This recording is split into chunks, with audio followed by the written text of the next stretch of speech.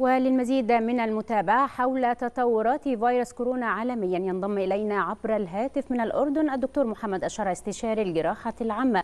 دكتور محمد بعد التحية يعني هناك توجه عالمي للتعامل مع فيروس كورونا كمرض موسمي يستوجب فقط التطعيم كأية نزل نزلة برد عادية. يعني من وجهة نظرك لماذا هذا التوجه في هذا التوقيت؟ هل بالفعل بدأ هذا الفيروس في الانحسار؟ أول الخير لكم المشاهدين واشكركم على الاستضافة. ربما جاءت هذه الفكرة أو طرات على السطح بعد وجود متحور أوميكرون الذي كلنا نعلم أن متحور أوميكرون هو شديد الانتشار لكنه قليل الإمراضية لكن أنا لا لا, لا اؤيد هذه الفكرة لأن الذي أنتج أو الذي حور فيروس أوميكرون كشكل خفيف يمكن أن يتحور هناك متحور آخر بشكل أشد ويكون شديد الانتشار وشديد آه الامراضيه، يبدو أن هذه القرار يكون آه مستعجلا أو مبكرا عليه. آه لابد أن نتحدث عن هكذا قرارات. بعد إعطاء لا يقل عن ثلثين سكان الكره الارضيه من أو إصابة أكثر من ثلثين سكان الكره الارضيه من المطاعيم، بعدها ممكن اعتباره كفيروس موسمي أو أنه تخفيف درجة حرارة. نعم. نعم. هل اللقاحات كان لها دور كبير في ضعف هذا الفيروس وتنوعها أيضا في الفترة الأخيرة؟ كان هو السبب الرئيسي لضعف قوة هذا الفيروس؟ لا شك أن اللقاحات لعبت دورا كبيرا في في ما وصلنا إليه الآن.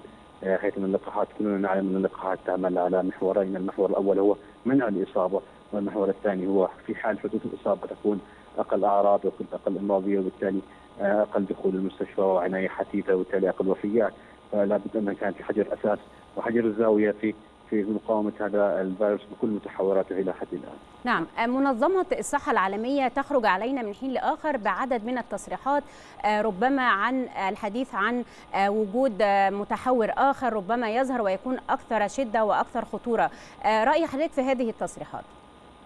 نعم المتحور هو هي لابد من شرح نقطة معينة أن أين يتحور الفيروس؟ يتحور الفيروس في جسم الإنسان وهو عبارة عن شكل شاذ للمتحور الذي قبله وبالتالي عندما يصاب عدد كبير من الأشخاص فهناك احتمالية حدوث شكل شاذ بنسبة أعلى كما هو كما حدث في المتحورات السابقة فبالتالي فنحن في أي لحظة ممكن نتعرض لمتحور آخر غير أوميكرون يسيطر على المشهد. نعم. يمكن فكرة تلقيح الأطفال من الأمور اللي بتسيطر أو بتثير جدل في عدد كبير من الدول وكل دولة تتجه بشكل مختلف في, هذه النقطة. من رأي حضرتك بالفعل هناك ضرورة لتلقيح الأطفال خاصة من سن أقل من 12 سنة؟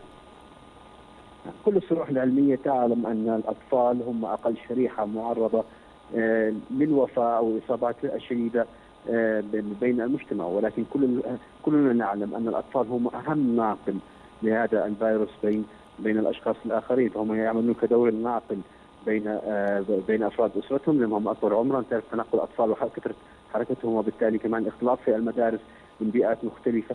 فإن الطفل لابد أن يأخذ عنصر شديد في انتشار المرض. نعم.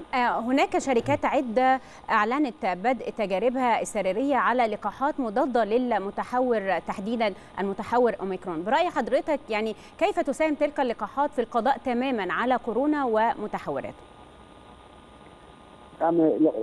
نعلم أن اللقاحات الموجودة حاليا أثبتت وجود لها أثر على أوميكرون لكن بنسب أقل من المتحورات الأخرى وجود لقاح لأوميكرون ربما يساعد بحد من هذا الانتشار ولكن للعلم أن اللقاحات الموجوده حاليا متوفرة حاليا.